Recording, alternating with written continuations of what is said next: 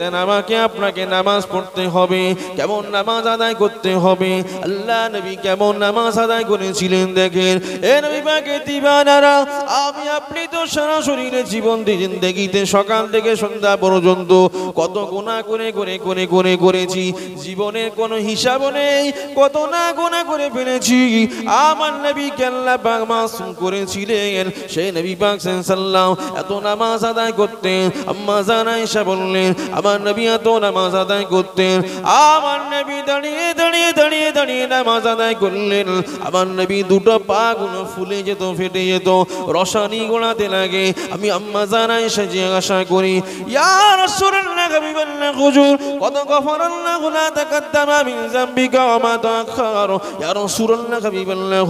আল্লাহ আপনাকে আগে পরে সমস্ত গুনাহ maaf করে দিয়েছে। হুজুর, আপনি কেন এত নামাজ আদায় করেন যে আল্লাহ পাক আপনাকে আগে পরে সমস্ত গোনা মাফ করলেন, তাহলে কেন আপনি এত ইবাদত বান্দেগি করেন?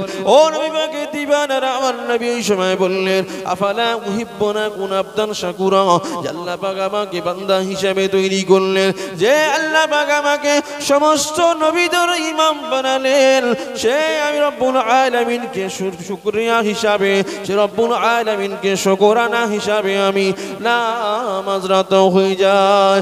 ও নবী পাকে দিবানারা, যে নবী পাক এত নামাজ আদায় করতেন, তাহলে আমাকে আপনাকে শিক্ষা দিতে হবে। আল্লাহ নবী শিক্ষা দিয়ে গেছে। এ দুনিয়ার মানুষেরা, শোনো শোনো, আমি রসুল্লাহর গোনা না থাকার পরেও আমি নামাজ আদায় করেছি। এটা আমার উম্মাদের শিক্ষা দেওয়ার জন্য।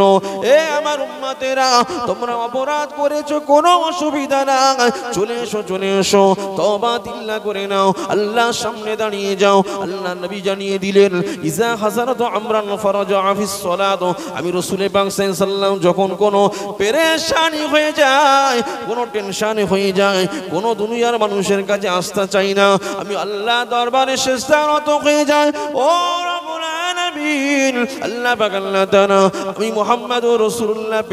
হয়ে গেছি। আমার নবী এটা শিক্ষা দিলেন, এ দুনিয়ার মানুষেরা হয়ে গেছো, কোনো অসুবিধা নাই হয়ে আইয়ুহাল্লাযিনা আমানু ইসতাঈনু বিস-সাবরি ওয়াস-সালাহ ইন্নাল্লাহা মা'আস সাবিরিন আল্লাহ পাক জানিয়ে দিলেন, এই বান্দা করে না রেখে দাও জেনে রেখে দাও। ইসতাঈনু বিস-সাবরি ওয়াস-সালাহ তোমরা নামাজ আর ধৈর্যের মধ্যে তোমাদের পেরেশানে পড়ে গেছো। চিন্তার কোনো কারণ নাই। ঘেপড়ে যাবি না, ঘেপড়ে যাবি না। সবর করো, ধৈর্য ধারণ করো। এক নাম্বার হলো সবর, দ্বিতীয় হলো নামাজ আদায় করো। নামাজের মাধ্যমে, দোয়ার মাধ্যমে আমার কাছে জানাও ও রব্বুল আলামিন এই সমস্যা। আমি রব্বুল আলামিন তোমাদের সমস্ত পেরেশানিগুলোকে আমি রব্বুল আলামিন মাফ করে দেব। আর জোরে বলে সুবহানাল্লাহ। আমরা তা না করে পেরেশান হয়ে গেলে মানুষের কাছে ও আমার ভাই, আমি পেরেশান হয়ে গেছি। না না না না, এটা করবেন না।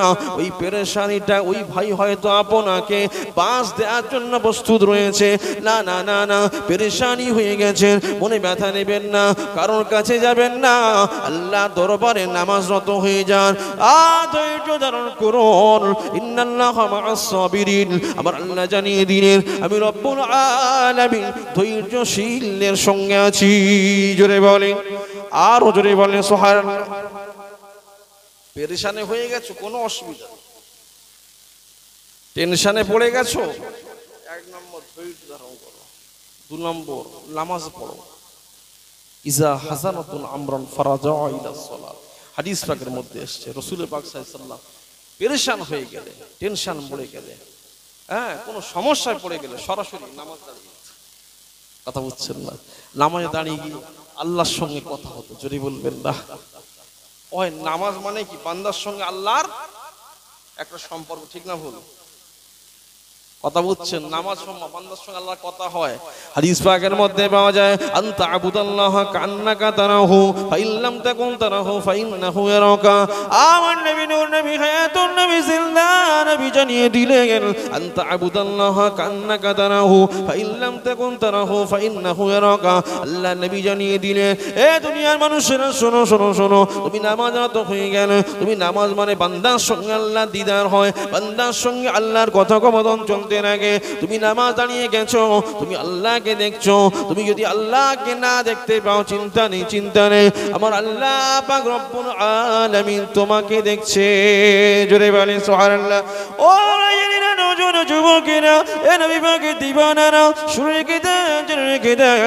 আমি যখন নামাজে সূরা ফাতিহা পড়তে শুরু করে দিই, আল্লাহর সঙ্গে আমার কথা হয়, আমি যখন পড়তে লাগি, আলহামদুলিল্লাহ রব্বিল আলামিন, সমস্ত প্রশংসা সেই রব্বুল আলামিন। যিনি সমস্ত জগৎ সমস্ত সৃষ্টি করেছেন, সমস্ত জগতের আলামের রব ওইটা বলার সঙ্গে সঙ্গে আল্লাহ পাক রব্বুল আলামিন বলতে লাগে হামিদানি আব্দি, ও আমার বান্দা, তুমি আমার প্রশংসা করেছ।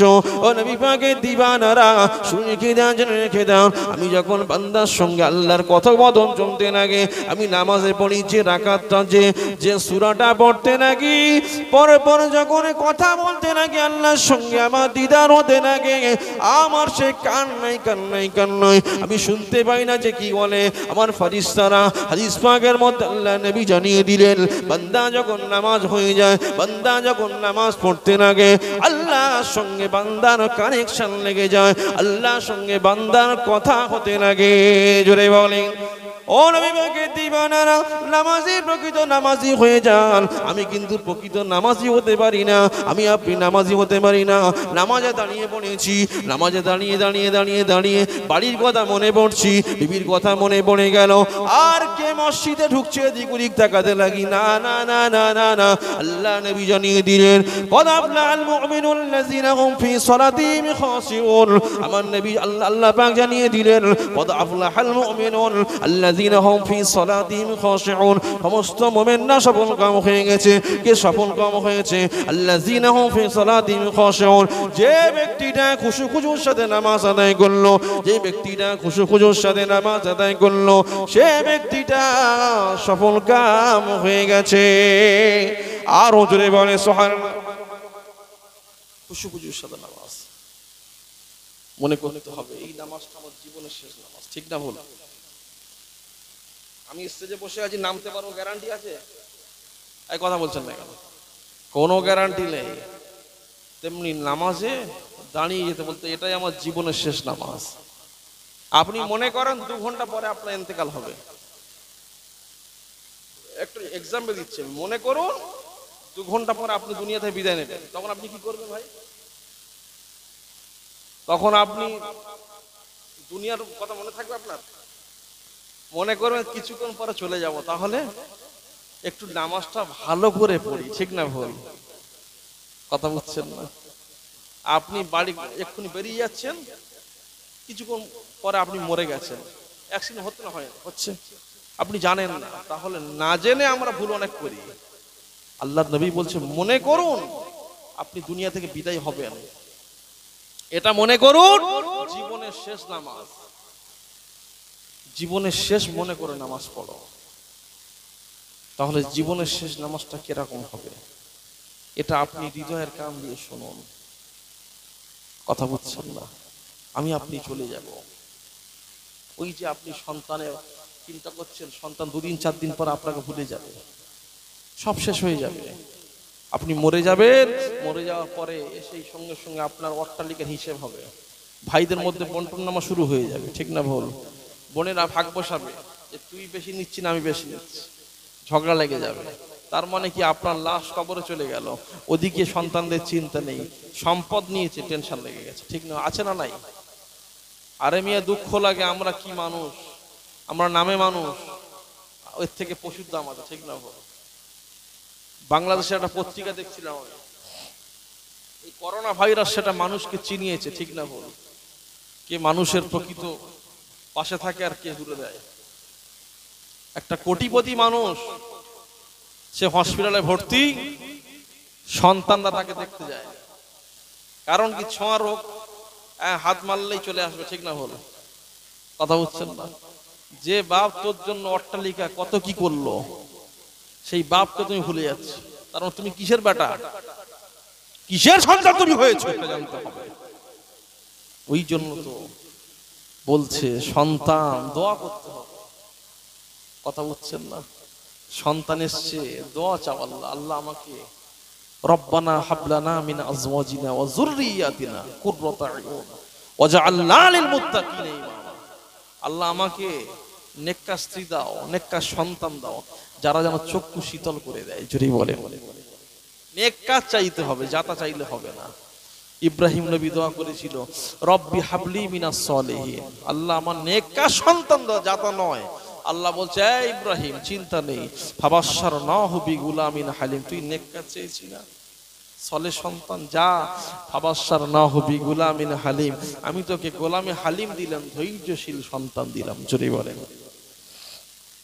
আজকে আমরা দোয়া করি আল্লাহ আমাদের সন্তানদেরকে ধৈর্যশীল মানাও সন্তানদেরকে পিতা মাতার প্রতি মহাব্বত তৈরি করুন। সন্তানকে যদি নামাজি না বানাতে পারেন, মহাব্বত তৈরি হবে না। অসুবিধা হচ্ছে নাকি? সন্তানকে নামাজি তৈরি করুন। দেখবেন আপনি মরে গেলে সন্তান আপনার জন্য কাঁদতে সন্তান আপনার কবজ জিয়ারত করতে যাবে। সন্তান, ঠিক না ভুল এটা তো আমার দায়িত্ব, করতে হবে। আমি যদি না করি, আমার পরের জেনারেশন আমার সন্তান আমার চিন্তা ঠিক না এটা করতেই হবে। বাংলাদেশের যে কথা বলছিলাম, কোটি কোটি টাকার মালিক, তার সন্তানরা বিবিরা কেউ দেখতে আসে হসপিটাল রেখে চলে এসছে। একটা বাড়িতে কুকুর থাকে, কুকুর পেলেছিল, কোটিপতি মানুষ টাকা প্রচুর কুকুর পেলেছে কুকুরটা ওই যখন মরে যাওয়ার পর লাস্টটা এনেছে, ঘরে তুলতে দেয়নি উঠোনে রেখেছে। সন্তানরা কেউ মুখ বাড়িয়ে দেখতেও যায়নি। প্লাস্টিক মুড়ি দিয়ে চলে আসছে। আর কুকুরটা ওই কিনা মনিবের কৃতজ্ঞতা আদায় দেখুন, সে তার লাশটা জড়িয়ে ধরে আছে। লাশটাকে যখন, তখন তো গোসল দেওয়া হয়নি, ঠিক না বলো? করোনার সময় গোসল দেওয়ার কোনো বালাই ছিল? ওই সময় কবরে ঢুকিয়ে দিয়েছে। তিন দিন, চার দিন হয়ে গেলে, এক সপ্তাহ, দশ দিন হয়ে যাওয়ার পরেও ও নবী পাকে দিবানারা হৃদয়ের কান দিয়ে শুনুন। সন্তান, সন্ততিরা, বিবি, বাল বাচ্চার নাতিরা কেউ কবরের কাছে যায় না যায় না যায় না যায় না। ওই যে কুকুরটা, সে কিনা কবরের কাছে কবরের কাছে। দশ দিন, পনেরো দিন, কুড়ি দিন হয়ে যায়, কবরের কাছ থেকে সরে না। ও রবুল আলামিনের বান্দা, বান্দিরা, নবী পাকে দিবানারা হৃদয়ের কান দিয়ে শুনে রেখে জেনে রেখে দেন আমাকে আপনাকে শিক্ষা নিতে হবে। আমার আপনার মানুষের আকৃতিটা শুধু রয়েছে না না, আমাদের ব্যবহার আখলাকটা পশু চাইতে আরও খারাপ হয়ে গেছে। এ নবী পাকে দিবানারা, আমাকে আপনাকে প্রকৃত মোমেনের কাতারে নাম লেখাতে হবে। পিতা মাতার সঙ্গে ভালো ব্যবহার করতে হবে। পিতা মাতা ইন্তেকাল হয়ে গেলে পিতা মাতার যে হকগুলো রয়েছে পিতা মাতার হকগুলো আদায় করতে হবে। এ নবী পাকে দিবানারা, হৃদয়ের কান্দি শুনে রেখে দিন, জেনে রেখে দিন। যে কথা বলছিলাম, প্রকৃত নামাজি হতে হবে। আবুদাল্লাহ প্রকৃত নামাজে অবস্থায় এমন হয়ে যাও, আল্লাহর সঙ্গে তোমার কানেকশন লেগে যাবে। না না না না, আমি নামাজ পড়ি, পায়ে মশা কামড়াই এদিক ওদিক মারি, না না, এটা কোনো খুশু খুজুর নামাজ হতে পারে না। আপনি যদি নামাজি হয়ে যান, আল্লাহ দরবারে, আল্লাহ নবী সাবিরা কেমন নামাজ আদায় করতেন দেখেন। আল্লাহ নবী জামাতা, আল্লাহ নবী জামাতা, হযরত আলী রাদিয়াল্লাহু তাআলা তালানহ কি রকম নামাজি ছিলেন দেখেন? ওই সময় যুদ্ধের ময়দানে চলে গেলেন, পায়ে একটা তীর লেগেছে। তীর লাগার কারণেতে যে আলী তীরটা টেনে বার করা যায় না, আবু বাকার, ওমর, উসমান টেনে টেনে বার করতে যায়। হযরত আলী করতে লাগে। আল্লাহ নবী দরবারে বলতে লাগে, ও ইয়া রাসূলুল্লাহ হাবিবাল্লাহ, হুজুর, আমি আলী মারা যাব কেন? আমার আমার পায়ে তিল লেগেছে। আমি যুদ্ধের ময়দানে গিয়ে গফারে কোরাইশের তিলটা আমার পায়ে লেগেছে। ইয়া রাসূলুল্লাহ হাবিবাল্লাহ, প্রচুর যন্ত্রণা হতে লাগে। আমি আলী এটা হাত দিতে পারি না। সাহাবীরা বার করতে যায়, বার করতে দেয় না। আমার নবী নবী হাবিবুল্লাহ বলেছিল, এ আবু বকর, ওমর, উসমান, শোনো শোনো, চিন্তার কোনো কারণ নাই। আমার সাহাবী, আমার জামাতা আলী যখন নামাজ রত হয়ে যাবে, নামাজে দাঁড়িয়ে যাবে, আমার জামাতা আলী যখন নামাজ রত হয়ে যাবে, নামাজে দাঁড়িয়ে যাবে, নামাজ যখন মধ্যবর্তী সময়ে চলে আসবে, তোমরা যে কেউ একজন পা থেকে তীরটা টেনে বার করে নেবে। এ নবী পাকে দিবানা হৃদয়ের কান দিয়ে শুনুন। ওই সময় আল্লাহ নবীর কথা অনুযায়ী একজন সাবি কি করলেন? আলী যখন শেষদারত হয়ে গেছে, ওই সাবিটা তীরটা টেনে টেনে টেনে টেনে বার করতে লাগে। চলমল চলমল করে আওয়াজ হতে লাগে। আর ওই সময় মদিনার মসজিদ কিনা, রক্ত স্রোত বেয়ে যায়। আলী বুঝতে পারলেন না, নামাজ রত হয়ে যাওয়ার পরেতে সালাম ফিরিয়ে নিলেন। সালাম ফিরিয়ে নেওয়ার পরে আলী বললেন, ও ভাই, কি ব্যাপার? এত রক্ত কেন? একজন নবী সাহাবী এসে বলল, এ আলী, বলো দেখি তোমার পায়ে তীরটা কোথায় গেল? আলী ওই সময় পায়ে হাত দিয়ে দেখল, না না না না আমার তীর তো নাই জোরে বলেন আর জোরে বলেন আল্লাহ নবী জিজ্ঞাসা করল, এ আলী, তোমার তীরটা কোথায় গেছো? আর সুরান্না খাবি বললাম আমি বুঝতে পারি না। ওই সাহাবি বললেন আলী, তুই তো নামাজের আগে হাত দিতে দিস না, পায়ে হাত দিতে দিস না, তীরটা বার করতে দিই না। আজকে তুমি যখন নামাজে দাঁড়িয়ে গেছো, আল্লাহ নবী বলেছিল, আমার জামাত আলী যখন নামাজ রত হয়ে যাবে, তীরটাকে টেনে টেনে বার করে নেবে। সত্যি আমি তীরটা টেনে বার করে নিয়েছি। তুমি একটু বিন্দু মাত্র বুঝতে পারো নাকি? না, আল্লাহ নবী আমি আলী তো আগে হাত দিতে দিতাম না। আমি নামাজ রত হয়ে গেছি, তীরটা তোমরা টেনে বার করে নিয়েছো। আমি আলী বিন্দু মাত্র বুঝতে পারিনি। আরও জোরে বলেন। আমি আলী বুঝতে পারি। কি নামাজি ছিলেন তাই? আর আমরা মশা পড়ে তো শুধু মারছি, ঠিক না বল? মশা না লাগার উপায় নেই চুলকতা শুরু হয়ে গেছে। জি না, এত সহজ। আল্লাহর নবী বলছেন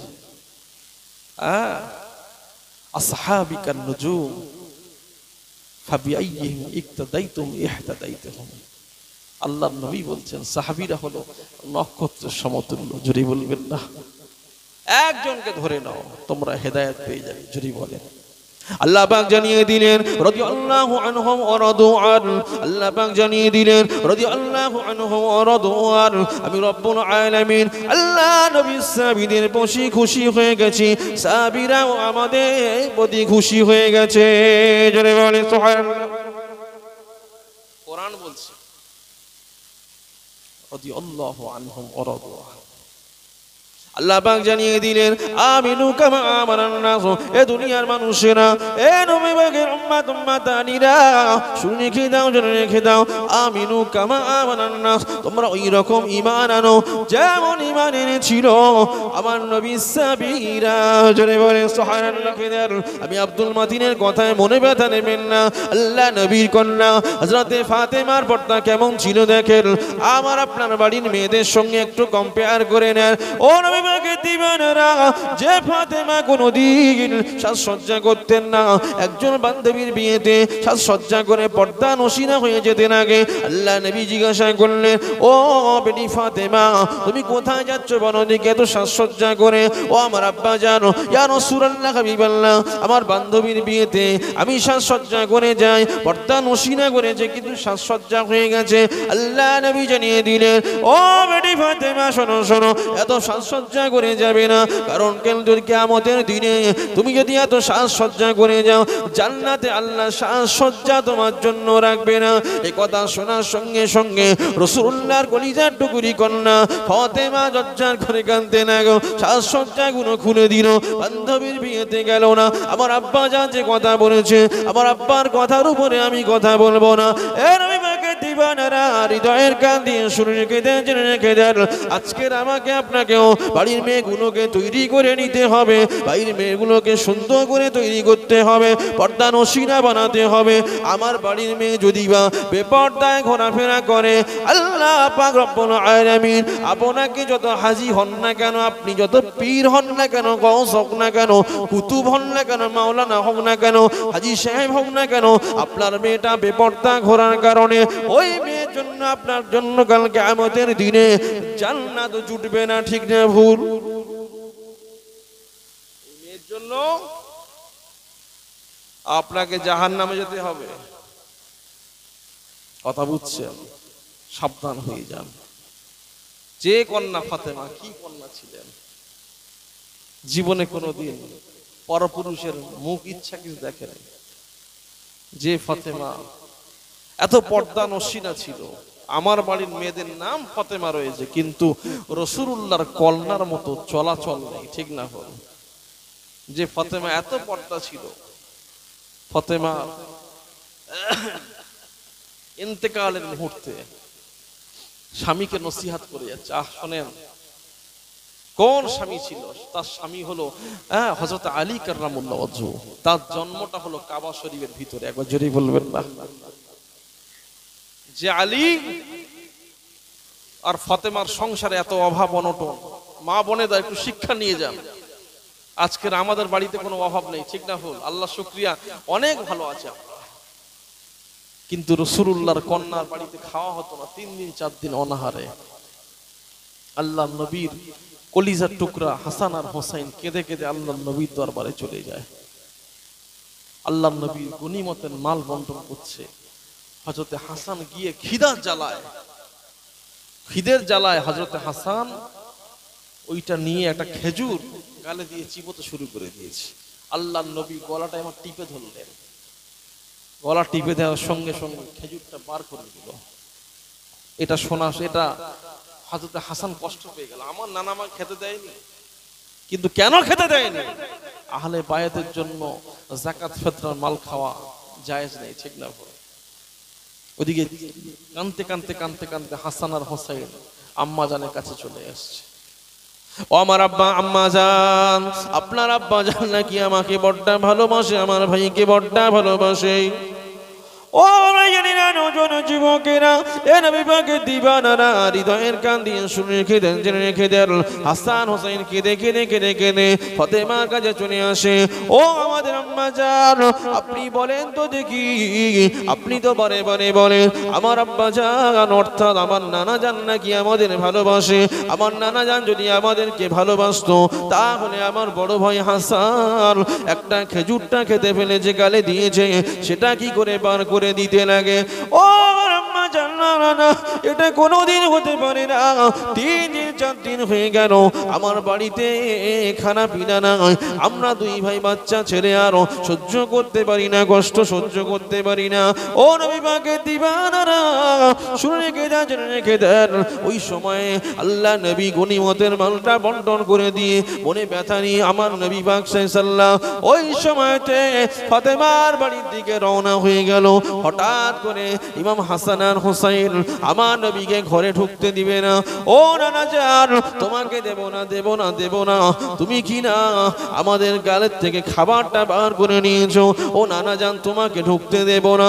আল্লাহ পাকে নবী বললেন, ও আমার কলিজার টুকরা, এ হাসান আর হোসেন শোনো শোনো, তোমাকে কেন দিইনি বলো দেখি? আল্লাহ রব্বুল আলামিন আহলে বায়াতের জন্য জাকাত ফিতরার মালকে খাওয়া হারাম করে দিয়েছে। ওই জন্য তোমাকে দিইনি আমি।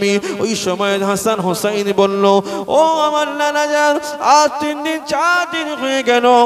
আমাদের শরীরে কিছু খাওয়া নাই, আমরা হাঁটতে পারি না। তোমার মেয়ে, তোমার জামাই আমাদের খেতে দেয় না। ওই সময় আমার নবী পাক ওই সময় বলেছিল, এ হাসান আর হোসাইন, শোনো শোনো, তুমি তিন দিন তো খেলে না। আজকে তুমি দেখো আমার শরীর থেকে কাপড়টা, আমার নবী জুব্বাটা তুলে দিলেন। তুললে দেখলে পেট- পিঠের মধ্যে তিনটা পাথর মাথা বেঁধা রয়েছে। ওই সময় নবী বলতে লাগলেন এ হাসান হোসাইন, তোমরা বলো দেখি, তোমরা তিন দিন খাওয়া হয় না, তোমরা করছ, তোমার নানা জানো তিন দিন খাওয়া হয় না, তোমার নানা জান পেতে তিনটা পাথর বেঁধেছে, ওই সময় ফতেমার কাছে গেল, ও মা ফতেমা, বলো দেখি, কি সংসারে অভাব কেন, বলো দেখি। আল্লাহ নবী কন্যা কেমন কন্যা ছিলেন দেখেন স্বামী দোষ দিলেন না।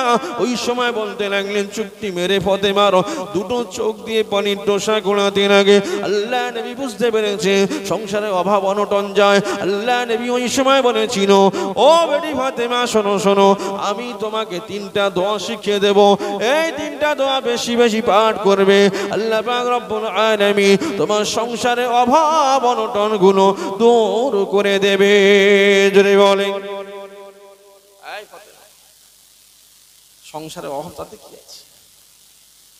তিনটে দোয়া তোমাকে শিক্ষা দিচ্ছি। প্রতিদিন রাত্রে শোয়ার আগে তেত্রিশ বার সোমান আল্লাহ তেত্রিশ বার আলহামদুলিল্লাহ, তেত্রিশ বার আল্লাহ এই দোয়াটা পাঠ করবে দেখবে আল্লাহ তোমার সংসারের অভাব দূর করে দেবে, যদি বলেন না সোহাল্লাহ কথা বুঝছেন না? আজকের আমি আপনি একটু সংসারের অভাব বলে সঙ্গে সঙ্গে বাবা বাড়ি ফোন হয়ে যায়, ঠিক না? কোথায় বিয়ে দিলে আমাকে? যে কিনা আপনার স্বামীর হ্যাঁ, আপনার জামাইয়ের উপার্জন কম এই দেখে দিলে আগে নিয়ে যাও আমাকে ডিভোর্স করিয়ে দাও। এই কথা আছে না নাই? জি না। নবীর কন্যা ফাতেমার থেকে শিক্ষা নিতে হবে মা বোনেরা। যে ফাতেমার বাড়িতে অভাব থাকার পরেও স্বামীর ইজ্জত নষ্ট হবে ঠিক না? মেয়েদের আসল পরিচয় বিয়ের পর স্বামী ঠিক না ভুল? আমি যদি বা বলতে যাই এখনই আব্বার কাছে আব্বা তো বুঝে গেছে বলতে হবে। ছেলেরা খেতে পারে না, আমার চুলোয় হাঁড়ি উঠছে না। আব্বা বুঝতে পারেনি, সব বুঝতে পেরেছে। কিন্তু আমি ফাতেমা নিজের মুখে আর এটা প্রকাশ করব না। যদি প্রকাশ করে দিই, তাহলে আমার স্বামী আলীর ইজ্জত নষ্ট হয়। না এটা হতে পারে না। কোন ফাতেমা? সাইয়্যিদাতুন নিসাই আহলি জান্নাহ। জান্নাতে নারীদের সর্দারিনী জুড়ে বলেন। আর কোন হাসান হোসাইন? আল হাসান ওয়াল হোসাইন সাইয়্যিদা শাবাবি আহলি জান্নাহ। জান্নাতের যুবকদের সর্দার হলো হাসান হোসাইন জুড়ে বলেন আল্লাহ নবী বললেন, মান আহাব্বা হাসান আল হোসাইন ফাকাদ আহাব্বানি অমান আবগাদাহুমা ফাকাদ আবগাদানি। যে হাসান হোসাইনকে ভালোবাসলো, সে আমি রসুলকে ভালোবাসলো যে হাসান হোসাইনকে কষ্ট দিল, সে আমি রসুল্লাহকে কষ্ট দিল। সেই হাসান হোসেন কাঁদছে। আর ফাতেমা কাঁদছে। আল্লাহ নবী দোয়া শিখিয়ে দিল। এমা নামাজ পড়ো আর এই দোয়াটা পাঠ করো। আল্লাহ অভাব দূর করে কি সুন্দর কথা। ওই ফাতেমা যখন ইন্তেকালের আগে তে স্বামীর হাত ধরে দোয়া করতে লাগে, ও স্বামী। আমি ফাতেমা, আমার আব্বা জান ইন্তেকালের আগে ইন্তেকালের আগে আমাকে বলেছিল, এ ফাতেমা, তুমি কান্নাকানি করবে না। আমার ইন্তেকালের দীর্ঘ ছয় মাস পরে, এ ফাতেমা, তোমার সঙ্গে আমার দিদার হয়ে যাবে। ও আমার প্রাণের স্বামী আলী, আমার আব্বা জান, আমার আব্বা জান আজ ছয় মাস হয়ে গেল, দুনিয়া থেকে পর্দা নিয়ে চলে গেছেন। অর্থাৎ আমার ছয় মাস পরে আমার আব্বা যা বলেছিল, আমি ফাতেমার ইন্তেকাল হয়ে যাবে। আজকে তো ছয় মাস পূর্ণ হতে চলেছে। অর্থাৎ আজকের আমি দুনিয়া থেকে বিদায় নিয়ে চলে যাব। আমি ফাতেমা, ও আমার প্রাণের স্বামী। আমি ফাতেমা, তোমার কাছে হাত তো দিদি তোমার কাছে ভুল চাই, ক্ষমা চাই। আমি ফাতেমার সঙ্গে তোমার আলী সংসারের মধ্যে, স্বামী স্ত্রীর মধ্যে সংসার করেছি এত বৎসর যদি কোনো ভুল ত্রুটি হয়ে থাকে, তুমি আমাকে ক্ষমা করে দেবে। ও নবীকে দিবানারা, কি স্ত্রী পেয়েছিলেন আলী দেখেন। ফতেমাকে দেখে দেখে দেখে দে? স্বামী আলীর কাছে ভুল স্বীকার করতে লাগে ও আমার প্রাণের স্বামী আলী, আমি এত বছর তোমার সঙ্গে সংসার করেছি। যদি কোনো ভুল ত্রুটি হয়ে যায়, আমি না জানি কোনো কথা বেশি বলে পেরেছি যদি তুমি কষ্ট পেয়ে যাও, তুমি ফতেমাকে মাফ করে দাও। তুমি যদি ফতেমাকে না মাফ করো, আল্লাহ মাফ করবে না। ওই সময় আলী কেঁদে কেঁদে বললেন, ও বিবি ফাতেমা, শোনো শোনো শোনো, আমি যদি বা, আমি আলী তোমাকে সেভাবে ভালো করে রাখতে পারিনি, আমি আলী তোমাকে সেভাবে সুন্দরভাবে রাখতে পারিনি, আমি আলী গরিব গো, আমি আলী গরিব ছিলাম, আমি আলী তোমাকে সেভাবে খেতে দিতে পারি না। ও আমার প্রাণের স্ত্রী ফাতেমা, আমি যদি বা তোমার সঙ্গে কোনো ব্যাদাবি করে থাকি, তুমি আমাকে ক্ষমা করে দেবে। ও মমিন মুসলমান করে ছেলেরা আব্বারা তরুণেরা নওজোয়ান যুবকেরা শুনে রেখে যান, জেনে রেখে যান। দুজনে একে অপরের মধ্যে ভুল স্বীকার করে নিলে কি ভুল স্বীকার করছে। জি না, কোনো ভুল নেই। মরণের আগে একে অপর বলছে, আমি তো সেভাবে রাখতে পারিনি, ফাতেমা। আমি গরিব আলী। তোমাকে সেভাবে আদর যত্ন রাখতে পারেনি। যদি ভুল ত্রুটি হয়ে যায়, মাফ করে দাও। আর ফাতেমা বলছে কি আমি যদি বা তোমার সঙ্গে কোনো বেয়াদবি করে থাকি, সেটাও মাফ করে দাও। কি মহাব্বত দেখুন, স্বামী স্ত্রী কেমন? দেখে শিখতে হবে, ঠিক না ভাই? আর আজকের আমার, আপনার বাড়ির মধ্যে সামান্য একটু কোনো ডিস্টার্ব হলে স্বামী স্ত্রীর মধ্যে অশান্তি লেগে যায়, ঠিক না ভাই? এর পিছনে কি জানেন? একটাই কারণ আছে মেয়েরা এখন বেশি বেশি সিরিয়ালে ভক্ত হয়ে গেছে, ঠিক না বল কথা বুঝছেন না? জি না, ওগুলো ফেলে দেন আপনি। মোমেন হতে পারেন বাড়িতে টিভি গুলো ফেলে দেন। কথা বুঝছেন? আপনি স্টেপ সঠিক হন। এই তোমাকে নামাজ পড়তে হবে।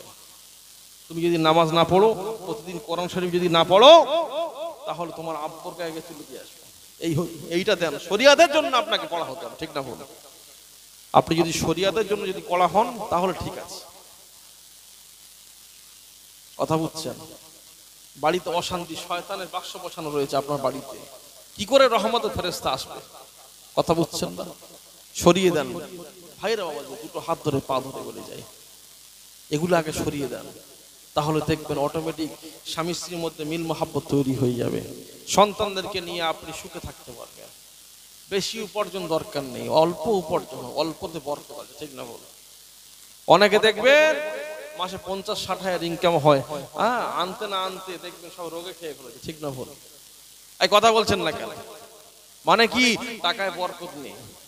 অনেকে দেখবেন মাসে পাঁচ হাজার টাকা ইনকাম করে, তিন হাজার টাকা ইনকাম করে।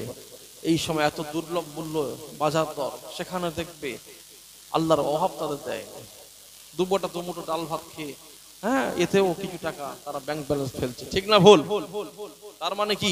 আল্লাহ বরকত দিয়েছে। দেখুন, আপনার সংসারটাকে নবীর সুন্নত অনুযায়ী চালান। দেখবেন আপনার সংসারেও বরকত এসে যাবে। যে ব্যক্তি নামাজি হবে না, যে স্বামী নামাজি হবে সেই স্ত্রীকে মারধর করবে না।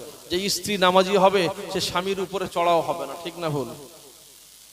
আজকে আমাদের বিবিরা স্বামীর জন্য সাজে না। সাজে কার জন্য? এই কথা বলছেন না পরপুরুষের জন্য, ঠিক না ভুল? আ? রাইট চাচা ঠিক ধরে ফেলেছে। আসল জায়গায় ধরেছেন তুমি আর এদিকে? ছেলেরা এই বিবির জন্য সাজে না সাজে শালির জন্য ঠিক না ভুল? জি না ভাইরা বাবা জিটা ওটা করবেন না। বিবির জন্য সাজেন স্ত্রী স্বামীর জন্য সাজেন সংসার ওই যে সাজ দেখবেন দেখলে দেখলে আপনার যে স্বামী স্ত্রীর মধ্যে তাকাচ্ছেন এই চোখে চোখে তাকানোর কারণে আল্লাহ পাক চোখের গুণাগুলো মাফ করে দেয় জোরে বলবেন না। স্বামী স্ত্রীর মধ্যে একে অপরের হাত দিচ্ছেন হাতের সব হাতের গুণাগুলো আল্লাহ মাফ করে দেয় জোরে বলবেন না। এরই নাম তো ইসলাম। ইসলাম কত সুন্দর জীবন ব্যবস্থা। ও বাচ্চারা, মনে ব্যথা নেবেন না নেবেন না নেবেন না। আমি আব্দুল বিদায় লগ্নে কথাটা বলে যাই, ফাতেমার কেমন ছিলেন দেখেন? ফাতেমা বলেছিল, ও আমার শোনো শোনো শোনো শোনো, আমি ফাতেমাকে আমি ফাতেমাকে লম্বা না পেটে আমি ফাতেমা মোটা না রোগা, মক্কা মদিনার কোনো পরপুরুষ আমাকে দেখেনি। আমি হায়াতে জিন্দেগিতে, আমি ফাতেমাকে কেউ দেখে না। আমি ফাতেমা ইন্তেকালের সময় তোমাকে নসিহাত করে দিয়ে যায় আমি ফাতেমা ইন্তেকালের সময় আমি ফাতেমা তোমাকে বলে দিয়ে যায় আমি ফাতেমা ইন্তেকালের সময় তোমাকে বলে দিয়ে যায় আমি ফাতেমা যখন মারা যাব, মারা যাওয়ার পরেতে আমি ফাতেমাকে রাতের অন্ধকারে তুমি আমাকে দাফন করে দেবে। রাতের অন্ধকারে তুমি আমাকে দাফন করে দেবে। কোনো মানুষ, বেশি মানুষকে ডাকবে না। দিনের আলোতে আমাকে দাফন করবে না।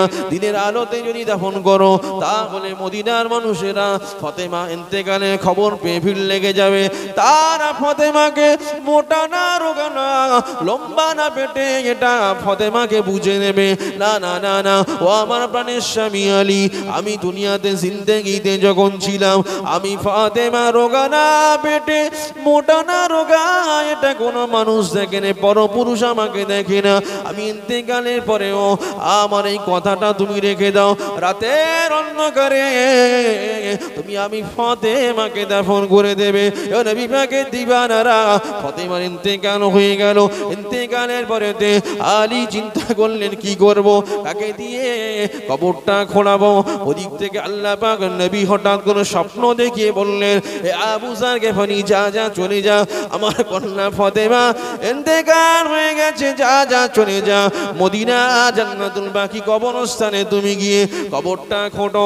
ও নবী পাকে দিবানারা, আবু সার গেফারি কবরটা খুলে দিলেন। আর এদিকে দুটো বর্ণনা পাওয়া যায়। ফতেমা ইন্তেকালের আগে নিজের গোসলটা নিজে করেছিলেন এক নাম্বার। দ্বিতীয় বর্ণনা পাওয়া যায়, ফতেমা ইন্তেকালের পরেও স্বামী আলী নিজেকে গোসল করিয়ে দিলেন। গোসল করিয়ে দিয়ে কাফনের কাপড় পরিয়ে দিয়ে ওই জানাজা নামাজটা আদায় করে নিয়ে চারদিকে চারজন একদিকে আলী ধরেছে, একদিকে হাসান ধরেছে অপর দিকে হোসাইন ধরেছে, আর পিছন দিকে ধরে আল্লাহ নবী সাহাবী। হযরত আবু জার চারজন মিলে কি করলেন?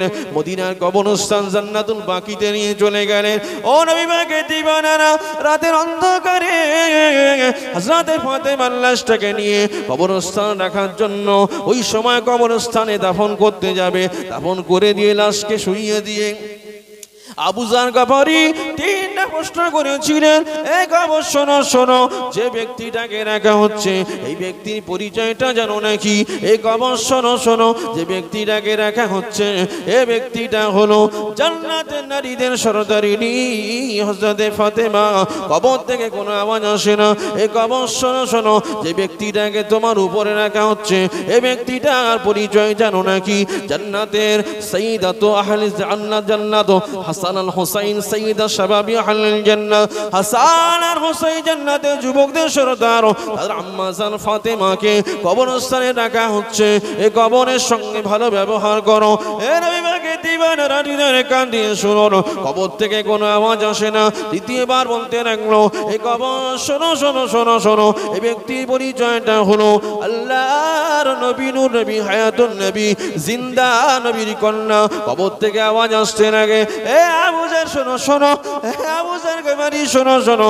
কে নবীর কন্যা, কে ফাতেমা জান্নাতে নারীদের সরদারিনী, কে আলী স্ত্রী, আর কে হাসান হোসাইন আম্মাজান আমি আমি কবর এটা চিনি না, আমি কবর একটা জিনিস চিনি, যার নেক আমল রয়েছে সেটাই চিনি। আর জোরে বলে সোহার খবর কাকে চেনে? এই কথা বল। নেক জান্নাতে নারীদের সরদানি তাকে চিনল না। হাসান হোসেনের মাকে চিনল না। আলীর কন্যাকে চিনল আলীর স্ত্রীকে চিনল না, রসুলের কন্যাকে চিনল না। আমি আব্দুল মাতিনকে চিনবে? এই কথা বলছি। আমি তো সামান্য ঠিক না কিচ্ছু নয়। আমাকেও চিনবে না। তাদের চেনে নিয়ে আমাকে চিনবে। আজকের আমাকে আপনাকে পরিবর্তন হতে হবে। আমাকে আপনাকে শিক্ষা নিতে হবে। কবর নেক আমল ছাড়া কিছুই চেনে না। আর কোন আলী, কোন ফাতেমা জীবনে কোনো পরপুরুষ তার মুখ দেখে না, একবার জোরে বলবেন না। আহ, সে কি নসিয়াত করে ওসিয়াত করে গেল। ওসিয়াতটা কি করেছিল? যে আমাকে যেমন পরপুরুষ দেখেনি, এ আমার স্বামী আলী আমার জন্য এন্তেকাল হয়ে যা পরে আমার দিনের আলোতে যেন আমাকে মাটি দিও না, তাহলে মানু- মানুষ দেখে ফেলবে, আমি ফতেমা লম্বা না বেটে, আমি ফতেমা মোটা না রোগা।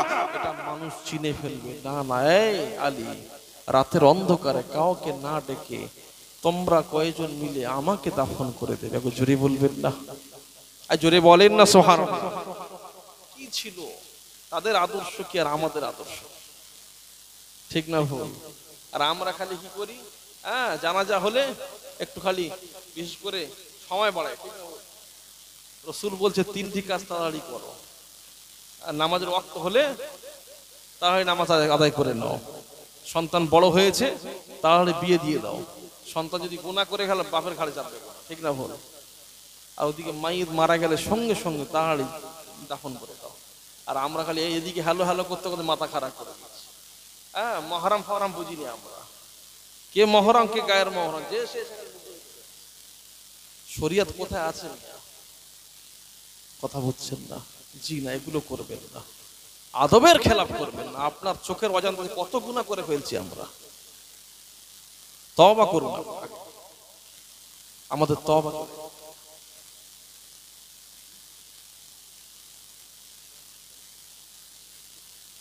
কথা বুঝছেন বাবা? আজকের আমাদের পরিবর্তন আজকের আমাদের আমলের বাড়াই নেই। যে কে আমল করছে তার সঙ্গে প্রতিযোগিতা করে, ঠিক না ভুল? সেটা নেই আমাদের আল্লাহ নবী সাহাবীরা আমলের প্রতিযোগিতা করতেন। কে কত বেশি তওবা করতে পারে, কে কত বেশি করতে পারে, কে কত বেশি আমল করতে পারে। আল্লাহ নবীর দরবারে রসুল বসে রয়েছে, সাহাবীরা বসে রয়েছে, একজন আনসারি সাহাবী। আসার আগে নবী বলল, এক্ষুনি যে সাহাবীটা আসবে, সে হলো জান্নাত। সাহাবীরা দেখছে, কে আসে দেখব? দেখল একজন আনসারি সাহাবী এসছে। আল্লাহ নবী তারপরের দিনে সব সাহাবীরা বসে গল্প করছে। আল্লাহ নবী বললে এখনই যে সাহাবীটা আসবে, সে জান্নাতি। আল্লাহ নবী, সাহাবিরা দেখল, কি বলব রসুল প্রথম দিন যাকে জান্নাতি বলল, আজও তাকে জান্নাতি। তৃতীয় দিন বসে রয়েছে। আল্লাহ নবী বলছে, এখনই যে সাহাবীটা আসবে, সে জান্নাতি। সাহাবীরা অপেক্ষা করছে, কে আসে দেখব? যেগুলো প্রথম দিন যে, দ্বিতীয় দিন যাকে বলে জান্নাতি, তৃতীয় দিন তাকেও বলছে জান্নাতি। সাহাবিদের মধ্যে কৌতূহল জেগে গেল। শোনেন বাবাজিরা, কি কৌতূহল? রসুল কেন জান্নাতি বলল? জানতে হবে, ঠিক না বল এটা শুনবেন না শুনবেন না? শুনবেন? বলছে, কেন জান্নাতি বলল, এটা জানতে হবে? মজলিস থেকে উঠে চলে গেল। আল্লাহ নবীর একজন সাহাবি, আব্দুল্লাহ ইবনে আমর ইবনুল আস। সে ওই সাহাবি বাড়ির দিকে রওনা হয়ে গেছে, পিছনে পিছনে পিছনে যাচ্ছে। সাহাবি ঘরে ঢুকেছে, আব্দুল্লাহ ইবনে আমর ইবনুল আস ঘরে কড়া নাড়ছে। সালাম দিয়ে কে? ও আছিস আব্দুল্লাহ ইবনে আমর এসছো, এসো। বলছে, ভাই, দুটো হাত ধরে বলছে, ভাই, তিন দিন তোর বাড়ি থাকব আমি। কেন? যে আমার বাড়িতে আমার মিথ্যা কথা বলছে। একটু মানে জানার জন্য কেন রসুল জান্নাতি বলল? এটা আমাকে জানতে হবে, ঠিক না বল বলছে, বাড়িতে একটু অশান্তি হয়েছে, আমি তিন দিন তোমার বাড়ি থাকব। ঠিক আছে, থাকো। মুসলমান ঘরে ছিলেন আব্বারা, তরুণীরা নৌজওয়ান যুবকেরা। এ নবী পাকে দিবানারা হৃদয়ের গান শুনে জেনে রেখে দেন, তিন দিন থাকার উদ্দেশ্য অন্য কেউ অন্য নয়, অন্য কোনো কারণ নয়। কেন আল্লাহ নবী তিন দিন তিন দিন একই ব্যক্তিকে তিন মজলিসে তিন দিন জান্নাতি বলল? এটা আমি আব্দুল্লাহ ইবনে আমর ইবনে আসকে জানতে হবে জানতে হবে। কেন জান্নাতি করল? ওই ব্যক্তিটা বেশি আমল করল নাকি? কেমন আমল করেছে সেটা আমাকে জানতে হবে। ওই ব্যক্তি কি আমল করেছে? আমি আব্দুল্লাহ ইবনে আমর ইবনুল আস জেনে নেব। সেই রকম আমল আমিও করব। ও নবী পাকে দিবানারা, হৃদয়ের কান দিয়ে শুনে রেখে দেন, জেনে রেখে দেন। ওই ব্যক্তিটা তিন দিন ওই ব্যক্তির বাড়ি রয়ে গেল, আনসারি সাবির বাড়িতে রয়ে গেল। তিন দিন পরেতে বিদায় লগ্নেতে দুটো হাত ধরে বলতে লাগল ও আনসারি সাবি আমি তিন দিন তোমার বাড়িতে একটাই কারণে থেকেছি। আমার অন্য কোনো কারণে থাকি না থাকি না থাকি না। একটাই কারণে থেকেছি। আমার বাড়িতে কোনো অশান্তিও হয় না। তাহলে তুমি কেন থাকলে বলো? একটাই কারণে আল্লাহ নবী তোমাকে বলেছে, তুমি জান্নাতি জান্নাতি জান্নাতি। কেন তুমি জান্নাতি? ওটা জানার জন্য আমি তিন দিন তোমার বাড়িতে রয়েছি। তোমাকে কোনো এক্সট্রা কোনো আমল করতে দেখিনি। আমি নামাজ আদায় করি পাঁচক্ত জামাতের সঙ্গে তুমিও আদায় করেছ, আমি তাহাজ্জুদ আদায় করে, তুমি তাহাজ্জুদ আদায় করেছ। আমি আউয়াবিন চাষের স্টাক সমস্ত নফল আদায় করেছি তুমি সেগুলো আদায় করেছ বেশি বেশি দরুদ শরীফ পড়েছো, আমিও সেটা আদায় করেছি। তুমি তবাতিল্লাহ বেশি বেশি আদায় করেছ, আমিও সেটা আদায় করেছি বেশি বেশি। এ আনসারি, তুমি বলো দেখি, তোমার সঙ্গে আমার কোনো আমলের তফাৎ নেই, তুমি যা আমল করেছ, আমি তাই আমল করেছি, তাহলে তুমি কেন? তুমি তাহলে তুমি কেন? আল্লাহ নবী তোমাকে জান্নাতি বলল কেন? এটা আমার জানতে হবে। ওই সময়তে আনসারি সাহাবী বলেছিল, এ আল্লাহ নবী সাহাবী আব্দুল্লাহ ইবনে আমর ইবনুল আস, শোনো শোনো। আল্লাহ নবী আমাকে জান্নাতি বলেন একটাই কারণে, আমি যা আমল করি, তুমি তাই আমল করেছ। তাহলে কেন বলেছে একটাই কারণে আমার নবী জান্নাতি বলেছে আমাকে? তার কারণটা হলো, আমি সারাদিন যে ব্যক্তি আমাকে কোনো কষ্ট দিল না কেন? যে কোনো আমাকে কষ্ট দিল, আমার হক নষ্ট করল, যাই করল না কেন? আমি রাতের অন্ধকারেতে এসার নামাজ আদায় করে নিয়ে দোয়া খায়ের সময় বলতে নাকি ও রব্বুল আলামিন, আল্লাহ পাক, আল্লাহ আমি আনসারি সাহাবীকে, দুনিয়ার মানুষ সারাদিন যদি আমাকে কোনো হক নষ্ট করে থাকে, আমাকে কোনো কষ্ট দিয়ে থাকে, ও রব্বুল আলামিন, আল্লাহ পাক, আল্লাহ সেই ব্যক্তিকে আমি আনসারি সাহাবী ক্ষমা করে দিলাম। আল্লাহ আপনিও তাকে ক্ষমা করে দেন, জোরে বলেন, সুবহানাল্লাহ। হে রাসূল, তোমায় ভালোবাসি। অন্তরে শুধু মুখে নয়, জান্নাতের আশায় নয়, হে রাসূল। জাহান্নাম কেউ ডরি না। হে রাসূল, তোমায় ভালোবাসি। অন্তর শুধু মুখে নয়, জান্নাতের নয় হে রাসূল। জাহান্নাম কেউ ডরি না। তোমার পাবার আশায় মন ছুটে যায় মদিনায়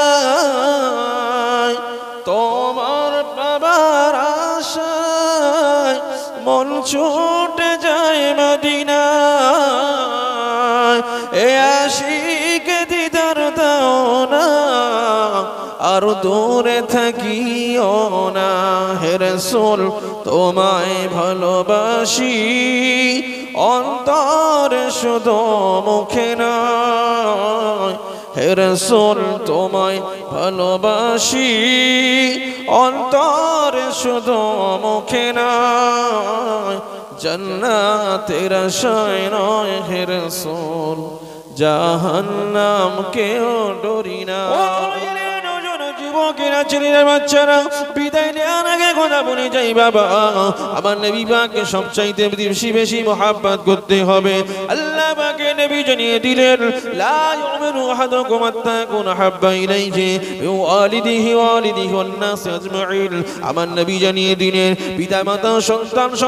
চাইতে, পৃথিবীর সমস্ত কিছু চাইতে, এমন ব্যক্তি নিজের জীবনের চাইতে, আমি রসুলকে বেশি ভালোবাসলো, সে ব্যক্তিটা মোমেন হয়ে গেল।